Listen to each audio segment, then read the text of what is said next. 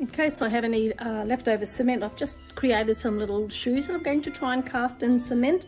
Um, I'll just, so these are the, I love to go to um, op shops and I'm really into trying to recycle oh, I don't know, things that people discard. So I try and give it a new lease of life and a new meaning in life.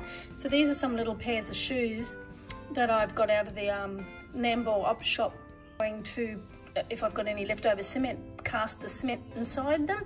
So what I've done is I've taken the shoelaces out and tried to put them on the inside. So hopefully when I do the cement pour, the shoelaces, although concave, will, will show the um, you know, the little laces done up. And I have siliconed it and glued the shoelaces to the inside of the shoe. I Don't know if we can see that very, whoops, very well. And whoops, there we go. And um, I'm not gonna wait for that to dry now.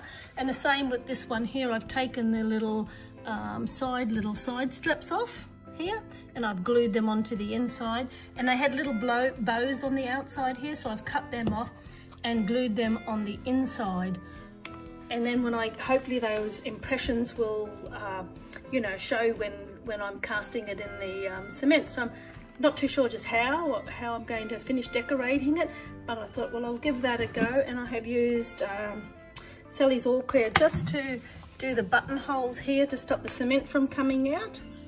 Anyway it'll be interesting and to get them out of the shoe the shoes are going to have to be destroyed of course and I'll cut them away and we'll see what happens next